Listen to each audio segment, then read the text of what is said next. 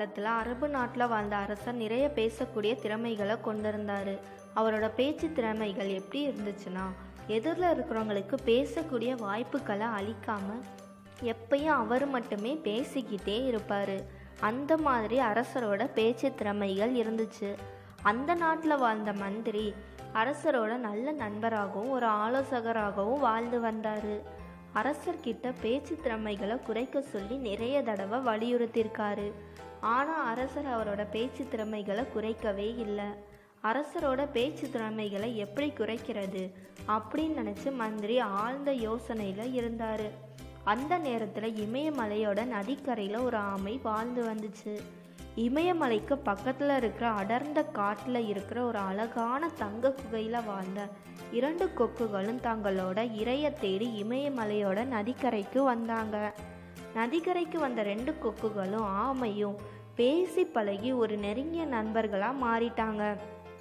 ஒரு நாள் அந்த ரெண்டு கொக்குகளும் நாங்கள் இமயமலைக்கு பக்கத்தில் இருக்கிற ஒரு அழகான காட்டில் இருக்கிற தங்க குகையில் வாழ்ந்து வரோம்.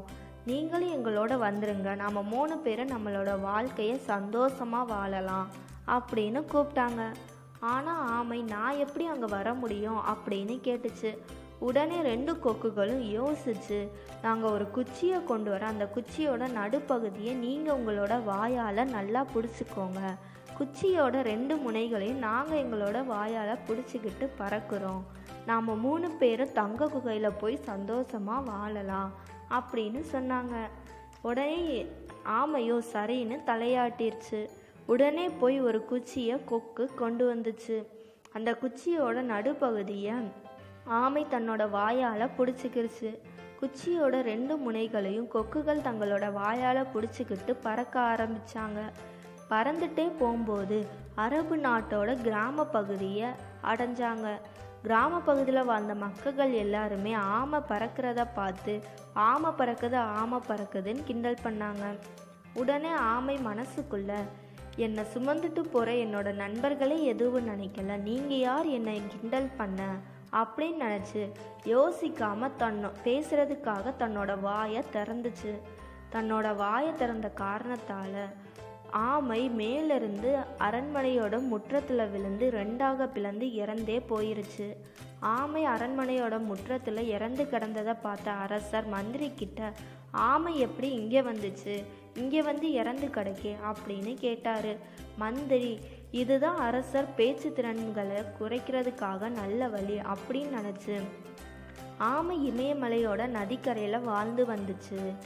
அம் இமயமலைக்கு பக்கத்தில் இருக்கிற காட்டில் வாழ்ந்த ரெண்டு கொக்கும் ஆமையும் நல்ல நண்பர்களாக மாறிட்டாங்க. ரெண்டு கொக்குகளும் ஆமையை தங்களோட தங்க குகைக்கு வாழ்கிறதுக்காக அழைச்சாங்க. மூணு பேரும் சந்தோஷமாக வாழலாம் அப்படின்ற ஆசையினால் உடனே ஆமை நான் எப்படி அங்கே வர முடியும்? அப்படின்னு கேட்டிருக்கோம். அந்த ரெண்டு கொக்குகளும் யோசிச்சு ஒரு குச்சியை கொண்டு வந்து அந்த குச்சியோட நடுப்பகுதியை ஆமையோட வாயால் பிடிக்க சொல்லியிருப்பாங்க.